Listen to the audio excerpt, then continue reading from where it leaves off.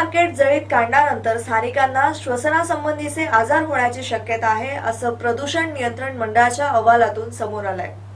शहरात दिवाळीच्या दरम्यानच्या काळात एकोणतीस ऑक्टोबर रोजी जिल्हा परिषद मैदानातील फटाका मार्केटला आग लागली होती ज्यात कोट्यावधींचं नुकसान झालं होतं. सुदैवानं कोणतीही जीवितहानी झालेली नव्हती. यासंबंधी सर्व विभाग आपापल्या परीनं तपास करून कारणे शोधत असताना महाराष्ट्र प्रदूषण मंडळाने सुद्धा या ठिकाणी सर्व हवेचे नमुने घेऊन त्याचे परिणाम परीक्षण केले होते. सर्व हवेचे नमुने घेऊन त्याचे परीक्षण केलं होतं ज्यात उपप्रादेशिक अधिकारी जयंत कदम यांच्या समितीनं त्याचा अभ्यास करून अहवाल तयार केला होता ज्यात हवेत धूर व धुरातील धुळीचे कणाच्या प्रमाणात तीन पट वाढली होती.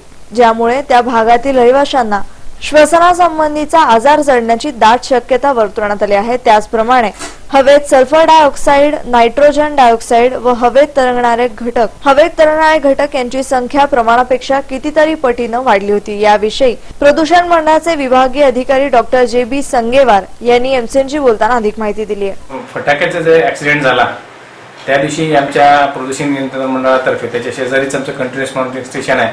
त्यात त्या प्रदूषणाचे मा- मोजमाप करण्यात आले. त्या अनुषंगाने एस पी एम हे दोनशे एकाहत्तर त्र्याहत्तर पर्यंत आलेलं आहे.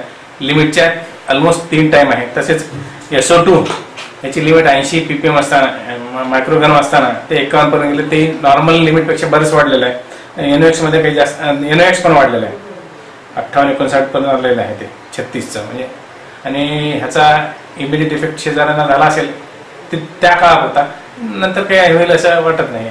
त्याचे त्या वेळापुरताचा इफेक्ट असेल. हा, नाही एसपीएम वाढलं कार्बन नाही वाढलं. कार्बन कार्बन मेजरमेंटच केलेलं नाही. आपण म्हणणार कसं नाही ह्या सगळ्या गोष्टीत एसपीएम वाढलेलं दिसून येतं.